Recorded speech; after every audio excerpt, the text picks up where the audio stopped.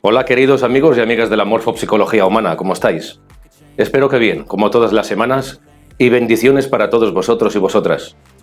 Pues sí, hay personas que nacen con gran capacidad para la concentración, se obcecan en ello y sacan muy buenas notas, sacan muy buenos resultados, mientras hay otras personas que pasa un pajarito, pasa una mariposa, y se distraen, se dispersan, son dispersos.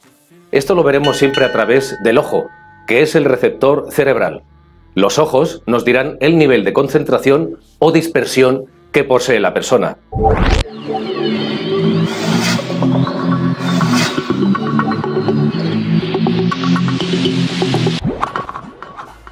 A continuación os lo explico. Primero procederemos a la apertura del ojo. Un ojo cerrado o un ojo abierto. La apertura del hueco palpebral del ojo, que es donde captamos la información. En primer lugar vemos una apertura menor, porque los párpados tapan parte del iris y de la pupila, por tanto el campo de visión se ve reducido. La persona tiene gran capacidad para la concentración, pero a la misma vez vive un poco en su propio mundo, al no renovarse con el medio exógeno o con el medio exterior. A continuación, en la parte del medio, los ojos son medianos, la apertura es normal, mediana.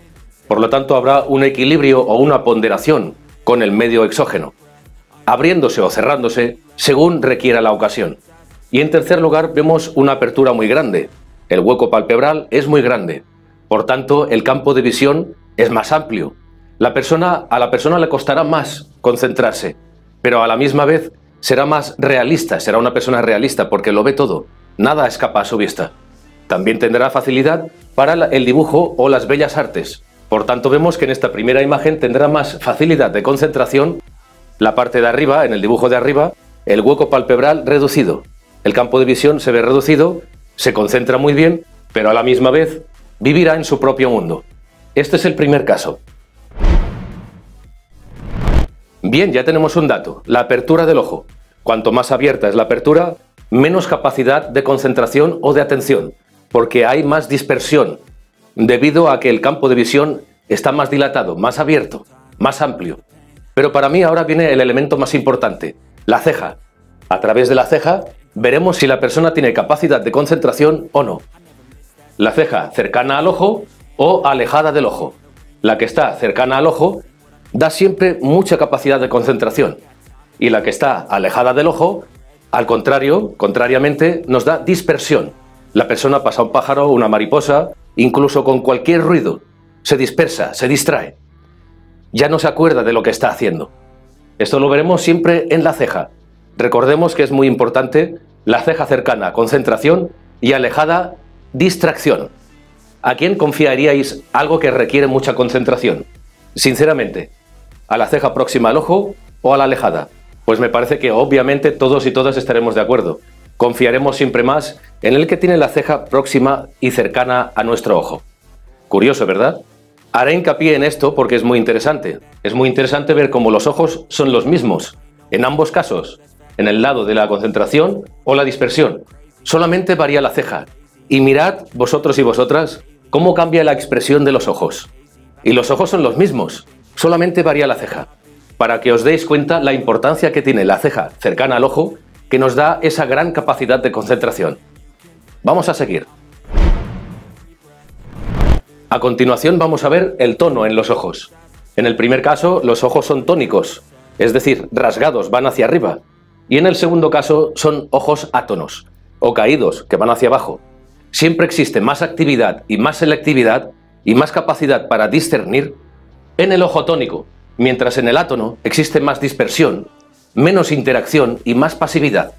Por tanto, es un dato también a tener a considerar porque es muy importante.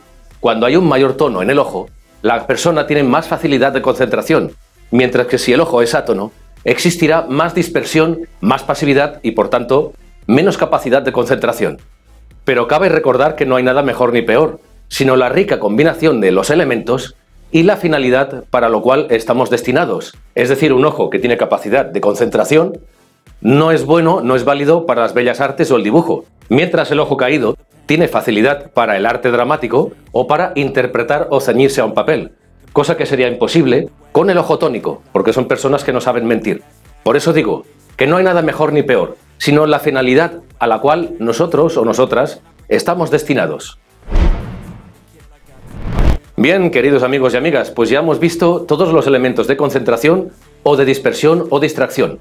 Vamos a repasarlos todos juntos. En la parte de arriba vemos la distracción. La distracción está en un ojo a flor de piel, dilatado grande, el ojo será caído y con la ceja alejada del mismo.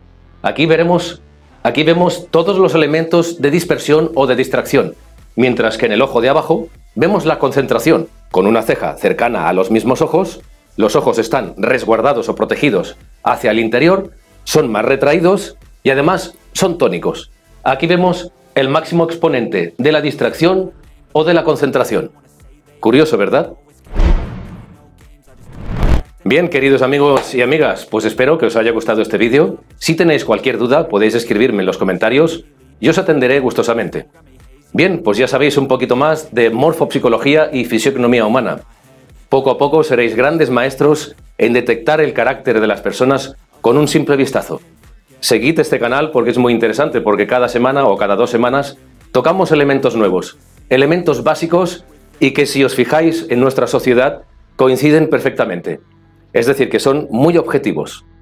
Bien, no olvidéis, como siempre digo, si os ha gustado, compartidlo, suscribiros y darle a like, que es gratis. Un abrazo fuerte a todos y a todas y hasta el próximo vídeo.